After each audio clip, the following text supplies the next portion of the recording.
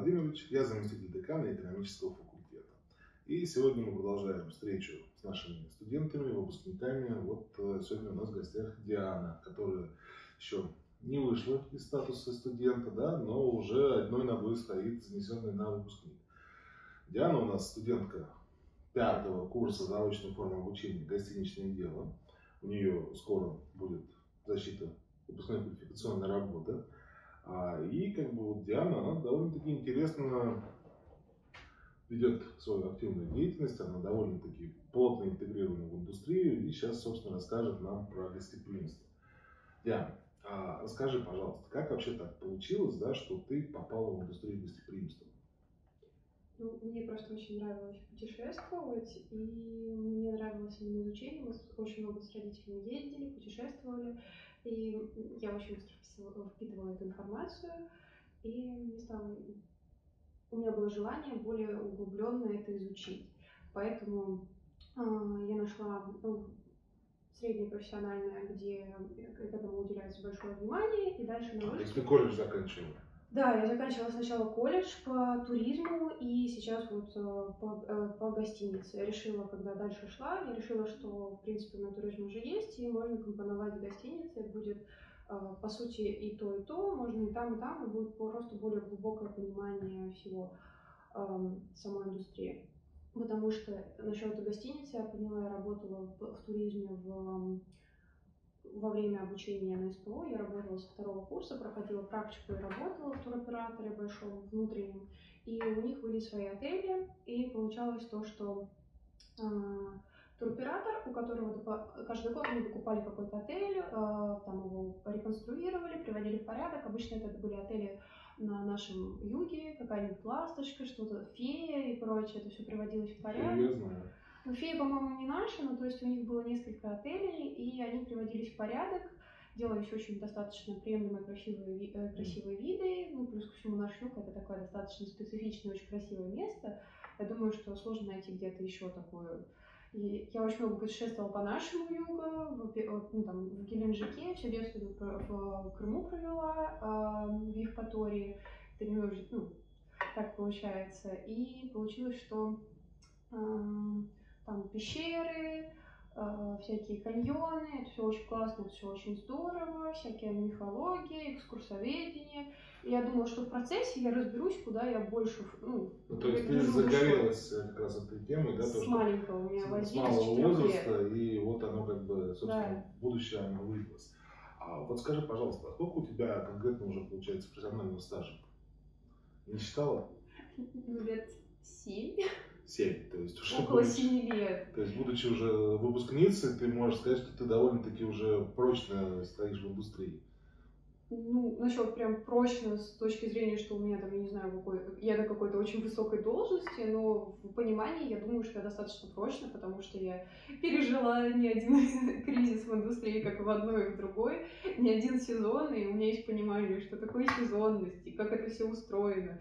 И как это работает, например, с точки зрения э, агентства, туроператора и э, ну, продажи туров, то есть формирование пакетов, то есть так как это туроператор, я видела, как от начала до конца создается э, продукт, как он продается, как работают с агентствами, то есть полный цикл был у меня перед глазами. Я сначала пришла на стажировку в сезон, и то есть перед сезоном, и там я познала, что такое сезон. Особенно я узнала, насколько а, большое... У меня не было большого понимания, насколько в России... Э, раз... Сезонность влияет на... Да, да, я думала, что она как бы, ну, есть лето, да, есть а... зима. Да, Летом все на юг, да, зимой да, все на север. То есть у нас есть юг, и мы как-то э, ну, ездим на юг, да, я вот ездила с мамой, и, соответственно, у меня было представление, ну, все логично, все супер. И тут я узнала, что есть просто огромный просто спектр всего, У нас еще было Азербайджан, у нас еще было, ну, то есть ближнее зарубежье. Ну, понятно, Кавказ. Ну да, Кавказ был, и ну, направление это очень было здорово, потому что ребята там прям вообще на позитиве всегда были. Хлеб, соль, еда, и а вот туроператор это такая маленькая страна, регион, вот ты туда приходишь, у тебя есть там э, начальство над каждой областью, у тебя есть какие-то свои регионы, как, у которых своя атмосфера, ты приходишь, там кормят, поют, с кумысом встречают, поэтому это было достаточно специфичный э, опыт. Самое классное, что было, я на это никогда не попадала из-за учебы, из-за того, что я была маленькая. Э, я пошла работать, у меня не, ну, был э, трудовой договор, но mm-hmm. так как я была несовершеннолетней, он был неполный. Так. И получилось то, что есть такая штука, ну, не на постоянку была, а по договору, там, на сезоны, на ну, увеличение штата. Есть такая замечательная вещь, как открытие сезона и закрытие сезона. Туроператоры делают э, открытие сезона для, тур, э, для своих агентств, для самых там лучших менеджеров, для своих и для агентских. И они везут их э, в свой отель, ну, у нас так было, везут в свой отель и устраивают там какой-то... Корпоратив. Корпоратив, да, это выездной корпоратив, чтобы вы познакомились, не только по телефону общалась, потому что очень часто ты общаешься с телефоном по какому-то мен... с каким-то менеджером, ты уже начинаешь ему просто симпатизировать, потому что у вас там вы друг друга понимаете, у вас общий супертурист был, и вы познали Дзен.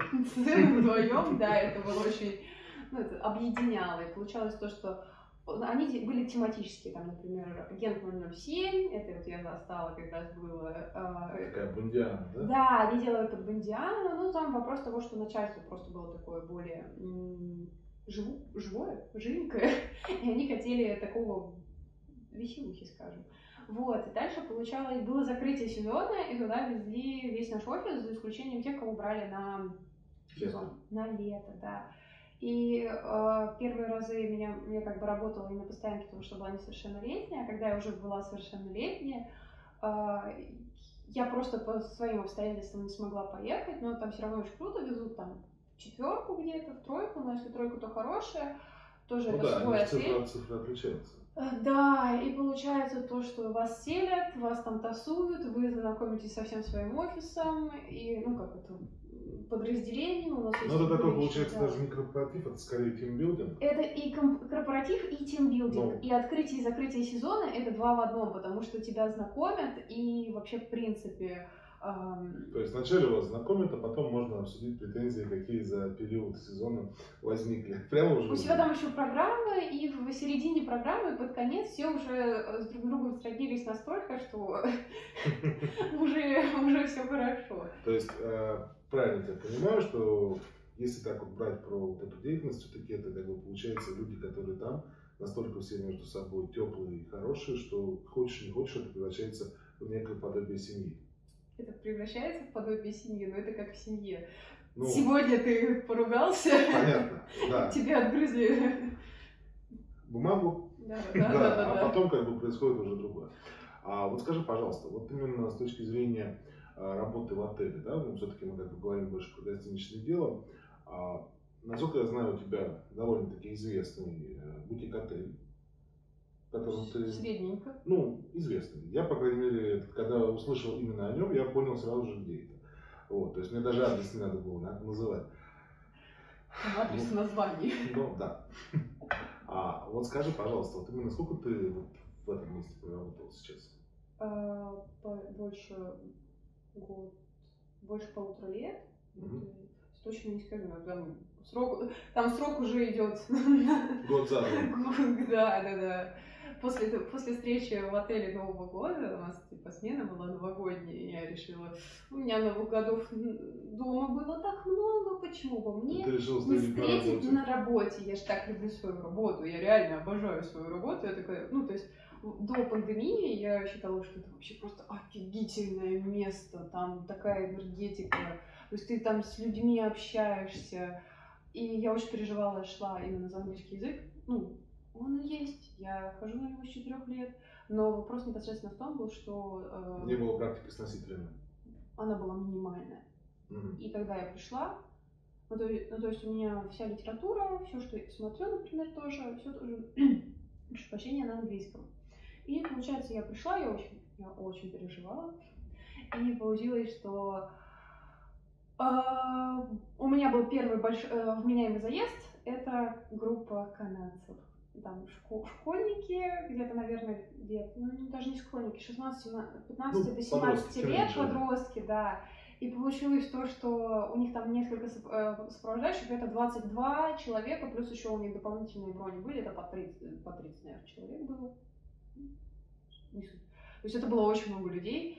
И когда первое, что ты делаешь, это заселяешь такое количество людей и регистрируешь их, то Это дальше... сразу же опыт, да? Да, то дальше тебе- это, это, грубо говоря, как тебя кинули, и ты поплыл. А тут тебя кинули в течение. А вот скажи, ты английский язык подтянула, да, вот за время работы?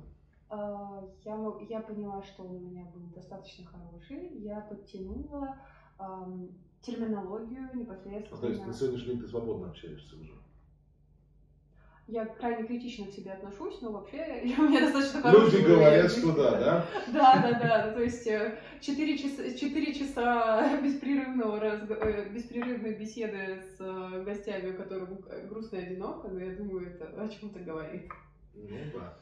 Вот, а вот скажи, пожалуйста, вот такой момент тоже очень много мы об этом говорим и со студентами, абитуриенты, а, вот об этом тоже спрашивают, родители особенно.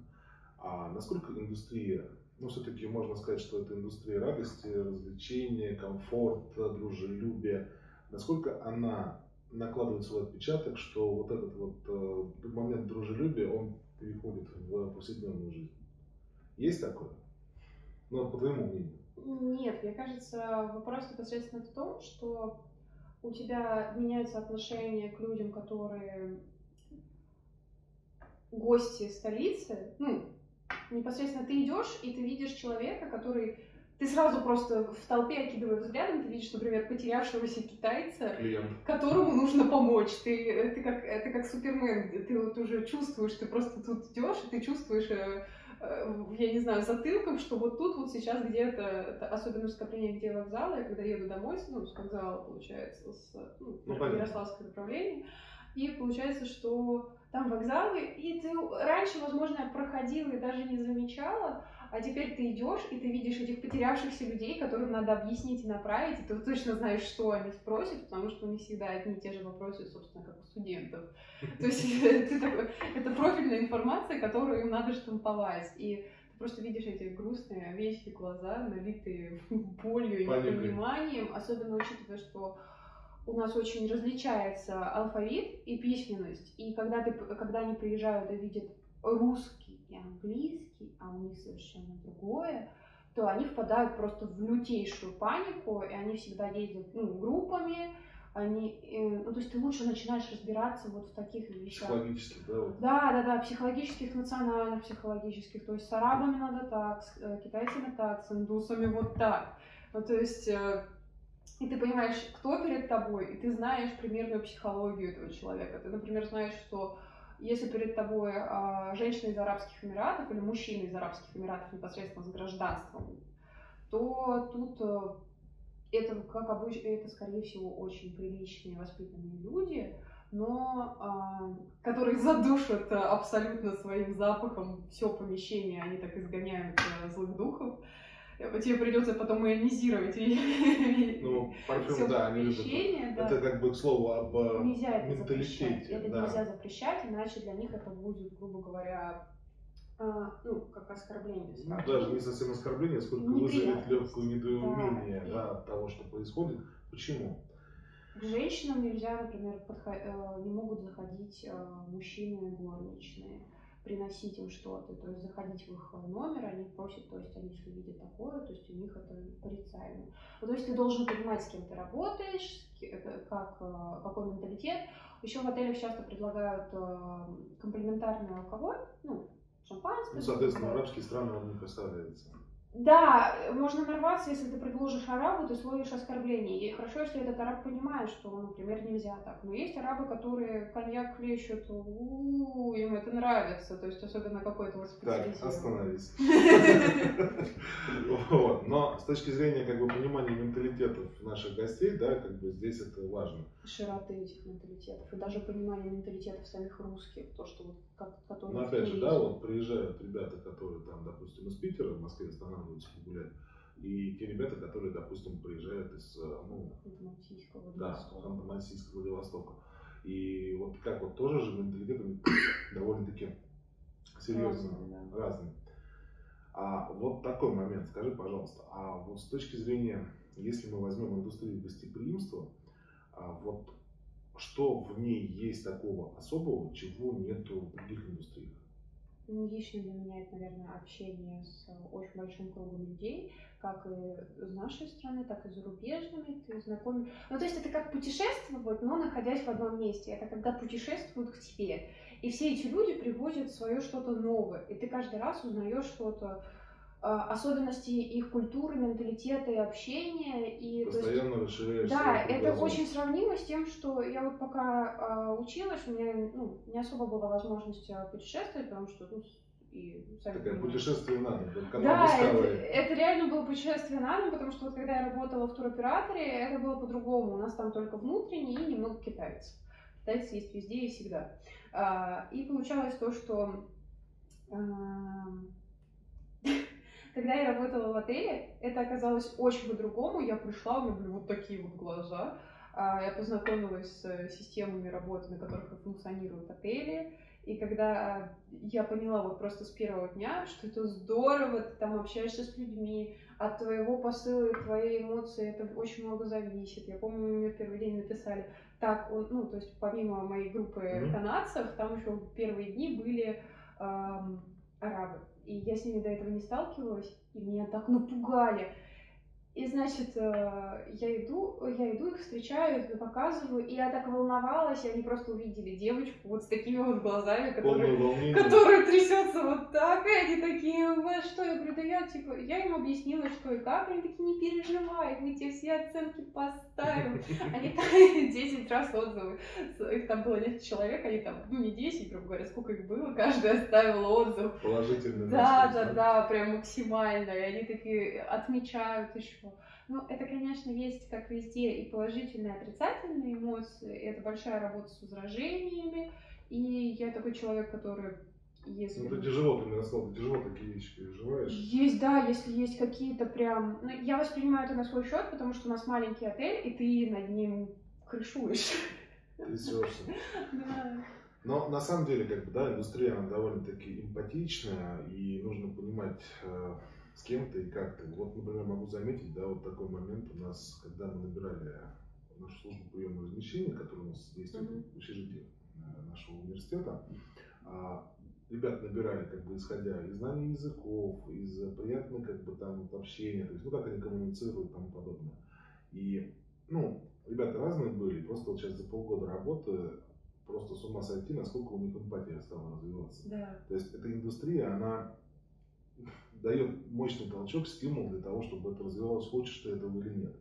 И вот, например, тоже у нас были ребята нелюдимые, которые сделали себе такой своего рода челлендж, которые пошли вроде как попробовать, и сейчас одни из самых э, активных в плане общения, в плане а, работы с гостями. А вот скажи, да, вот это вот что касается профессиональной деятельности.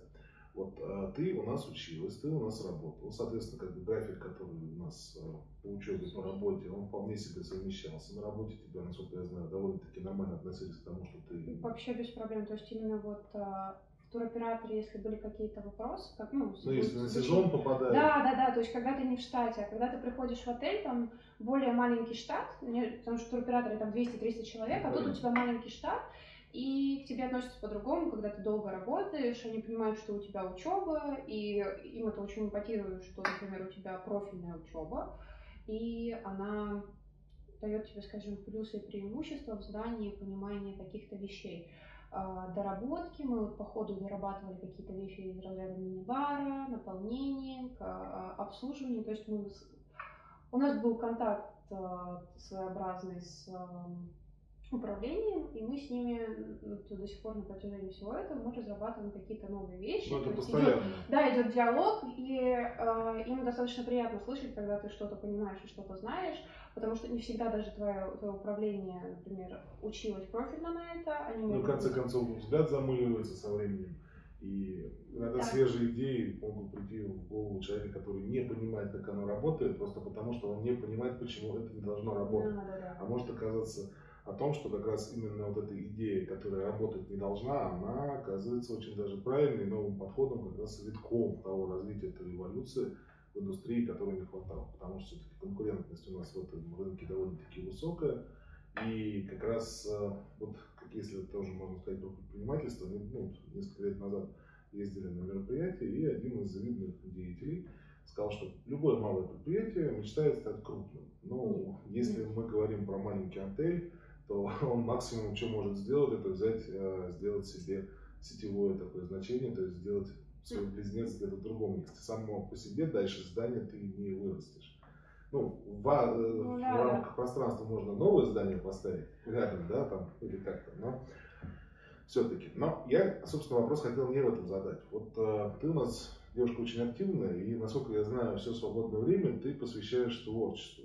Вот, э, насколько я знаю, ты являешься у нас косплеером, да, да это вот как сейчас называется, модель косплея. Ну да, там. Вот, расскажи об этом, потому что, как бы, на самом деле, а, вот, маленькое такое замечание, у нас довольно так ребята, которые работают э, и учатся у нас вот, э, по нашему направлению, работают в нашей индустрии, они имеют много энергии, которую хочется иногда в чем-то выражать, выражать подобное. Вот Диана у нас, собственно, занимается косплеем. Расскажешь об этом? Какие образы, какие эти? Потому что ну, это правда интересно. Ну, мне просто чисто случайно попало, потому что мне... Я сначала была, скажем так, где-то, наверное, лет 16, когда я как раз поступала, я не была настолько открытым человеком. И мне было... Слово развитие эмпатии. Я думаю, это еще с возрастом происходит. И, например, вот э, косплей повлиял, но это очень тоже с индустрией гостеприимства с, э, пересекается, потому что есть э, девочки-модели, которые, например, хостес работают. А, ну, на мероприятиях встречают, и тоже ты когда работаешь, тебе, ну, какая-то работа достается то, что ты, например, кого-то встречаешь, общаешься с людьми, и точно так же с иностранцами. У нас было, у меня было несколько международных контрактов, и мы работали непосредственно и на международных выставках, и просто когда к тебе подходят разработчики, это другой язык, это понимание общения, и когда ты еще работаешь в индустрии, им становится интересно, потому что они тут гости, и когда люди там с э, Лос-Анджелеса, с Европы приезжают, для них это приятный бонус. Плюс ко всему ты учишься общаться, и ты учишься не закрываться. И когда к тебе подходят и заговаривают на английском, у очень многих есть такой ступор, когда ты такой... Окей. Okay. Типа... Just a minute. Не-не-не, ты просто стоишь такой вот с такими глазами, и у тебя проносится вся жизнь перед глазами. Даже если ты у тебя очень хороший... Я на это не подписывался. Да. И получается, что э, в какой-то момент у тебя просто переключается, и ты понимаешь, что либо ты сейчас что-то делаешь, либо ты просто вот... Провален. Да, и ты начинаешь как-то грести, и получается очень приятное общение, даже если ты где-то ошибаешься, люди это все прекрасно понимают, и для них безумно приятно, что ты идешь с ними на контакт, даже если ты просто пытаешься объяснять э, жестами. Например, мы работали на стенде, и получалось то, что это чудо-женщина, и тогда это, эта выставка была Комик-кон, и туда пришла Писатель, ну, э, художница, которая рисовала «Чудо-женщину» несколько лет, и участвовала в создании фильма. Она еще жена очень одного... Ладно, я не буду называть там. Получается, у нее муж, он тоже рисует комиксы, но его проклинают вообще просто все любители комиксов. Это дальше получается Джилл Томпсон, если кто-то знает, и она рисовала «Чудо-женщину». Она пришла на стенд, и у нас было несколько, ну, две модели, и они, и дополнительно еще персонал.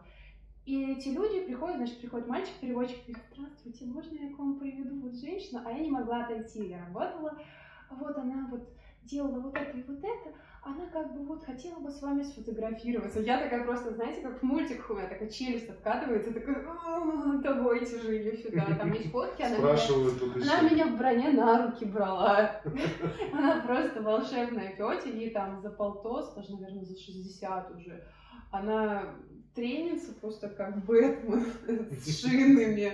А, то есть, ну, контактируем в Инстаграме, и получается это очень классная фотка, она там арты принесла и так далее. То есть идешь на контакт без проблем, и там очень много авторов приезжает, и ты с ними общаешься, очень много разработчиков и просто людей. То есть мы ни в коем случае не вычеркиваем, и ты учишься коммуницировать даже с теми, кто ведет себя некорректно. М. Ну, то есть... э, Ну, работа с возражениями и конфликтами. а, Получается. скажем, Да, да, да. Ну и плюс ко всему, очень часто бывает, ну, скажем, девушкам в косплей среде, если ты делаешь по играм, и вообще почему-либо, э, скажем, такие ярые гики, они подходят, и очень часто у меня подруга, например, в Буйнете была, и к ней подходили такие, ну чё, сколько ты играла, что ты знаешь, ты недостойна этого персонажа, а она такая башня, в этом парике получалось 2.20. И то Ну, есть там она... Она сама по себе высокая. А Она, она просто идеально была для этого образа, я не понимала, господи, люди, э, когда, э, и самое главное... Наслаждайтесь внешним видом. Да, Да? а я еще метр э,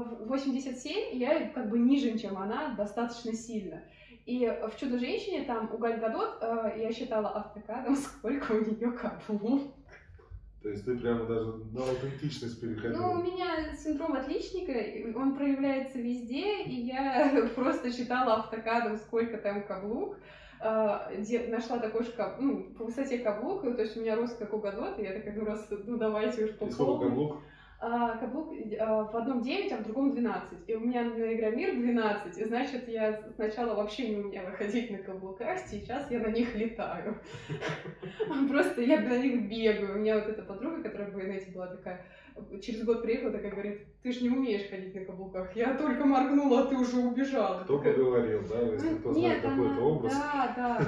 И вот там еще пистолет, она ходила вот, Ну, вот это- так. Это просто что-то с чем-то. И вообще это такое учиться нестандартно мыслить. Это очень полезно. И любая такая... Какие еще образы? Сейчас. Чудо-женщина, сейчас будет э, Poison Ivy, ядовитый плющ. Э, Вот, приехала, я сейчас диплом сдам и поеду фоткаться. Я не фоткалась уже очень долго, потому что ну, э, Чудо-женщину снимали на лошади. У меня была сначала Китнис э, из «Голодных игр». У меня просто... Я была знакома со всем фандомом. Я вела сходки.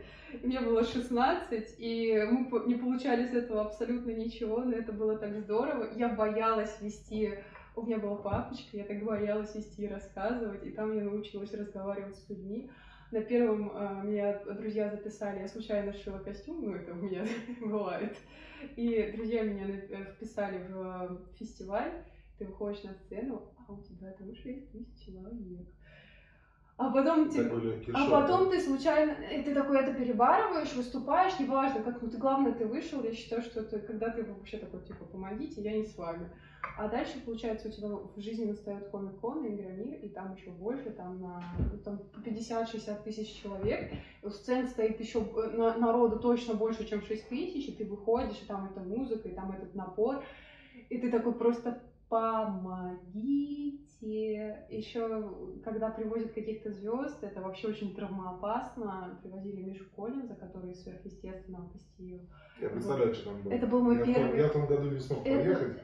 Да, это был мой первый игромир тогда, это было несколько лет назад, и там ломали крафт, выворачивали руки, а, кидались трусами на сцену, нижним бельем в Так, пресс. так. Ну, Это весело! У нас на самом деле мы на нашем направлении подготовки на гостиничном деле туризме довольно-таки ну, часто ходим на подобные мероприятия, потому что Игрокон. сопротивные, игроконы, игромир у нас э, это, мы посещаем. Ну, мы, к сожалению, с выездом у нас сложнее, потому что таки ездим со студентами, но вот довольно-таки любим. Поэтому как бы вот эта тема для нас, она прям очень близка. А вот еще что? Я знаю для Рэй. образов Рэй. Это Рэй- «Звездный ну, войны». Звездные войны, у меня несколько Звездных войн в Рей Дженерса по Роуглану. А, И получается, что в, по Звездным войнам у меня благотворительная международная организация, мы ходим к детям, в больницы и ну, в костюмах. И непосредственно еще работаем, там это считается, считалось официальным запасом а, студии, которая снимала Lucasfilm костюмы. То есть ты делаешь этот костюм по всем правилам из правильных тканей, и это тоже добавило к моему синдрому пунктиков. Я теперь, я теперь ткани различаю, то есть разнопланово. И это тоже, кстати, очень полезно, когда ты такой подходишь, видишь, что у тебя э, к- клиник в отеле э, чистит э, штору из такого-то материала, тем, что ее нельзя чистить, ты просто за километр просто глазом такой со своей, со своей Подождите, да? руки вверх, не трогаем и не дышим. Вот. Ну, то есть, все равно, ну, то есть, такое широко применяемое. А, много образов, просто сейчас вспоминать. Но мы потом Это будем специфично, да, мне кажется, это надо... показывать, да. А, Вот. Еще мы с концертной деятельностью тоже с благотворительностью связаны, тоже там, ну там мы, а, есть группа Imagine Dragons, а, и у меня просто несколько лет назад выяснилось, что подруги занимаются официально, ну, не официальной группой, а самой большой группой, и я как раз фанатела и начала помогать. И мы делали флешмобы в Олимпийском на 60 тысяч человек. Попробуйте раздать целому Олимпийскому шарик, я на вас посмотрю. И объяснить, когда их можно включать и когда их нельзя включать. А еще это все модерировать. Это, это, это просто, просто взрыв мозга. Поэтому, поэтому когда ты в, оте- в отеле, у тебя уже там не 60 тысяч человек, а там 20, ты такой, ну, в принципе, зашквары были и хуже.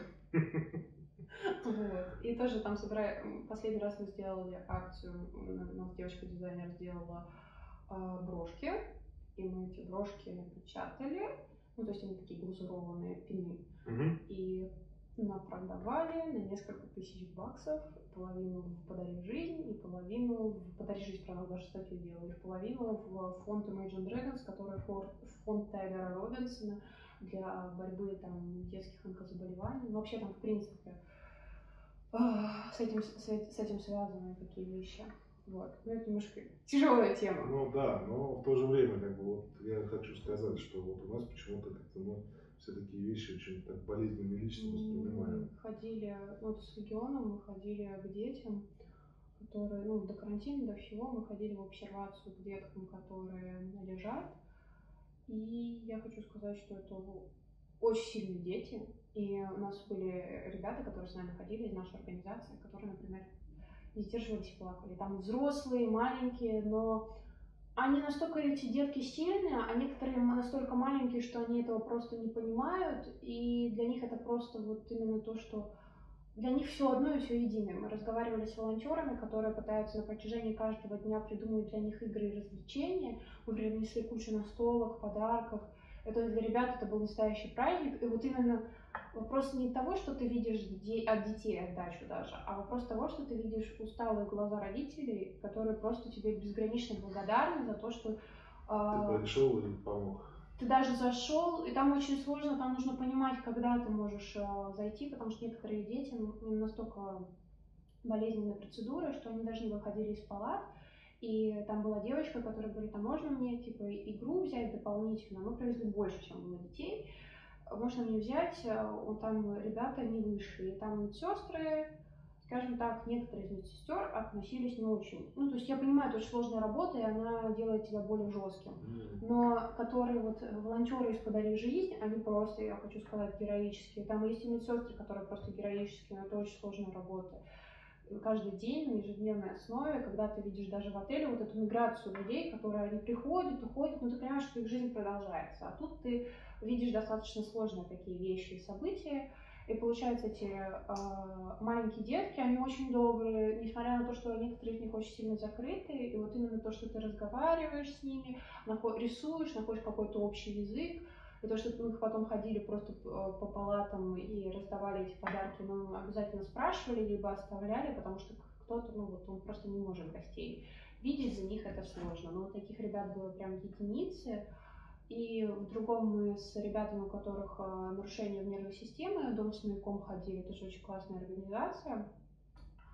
А, вот у них мы проводили тоже всякие свои активности, и там были мамы с, ребя- с ребятами, там очень много интересных ребят. Там мальчик рассказывал, как он собирал и разбирал холодильник, то, что он может собрать и разобрать абсолютно любую технику. И мальчик, у которого м- минимальная подвижность конечностей, только на руках несколько пальцев может собрать и разобрать холодильник.